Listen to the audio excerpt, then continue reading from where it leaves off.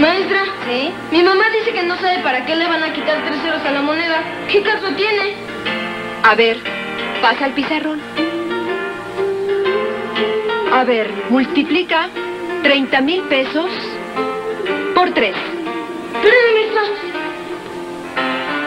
Bueno, mejor recorre el punto tres lugares hacia la izquierda, para que sean nuevos pesos.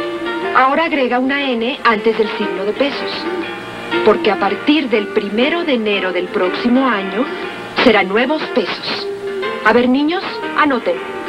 30 nuevos pesos por 3 igual a 90 nuevos pesos, menos 89 mil pesos actuales.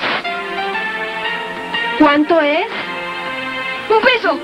Un nuevo peso, ¿eh? Muy bien. Nuevo peso. Más práctico y más sencillo.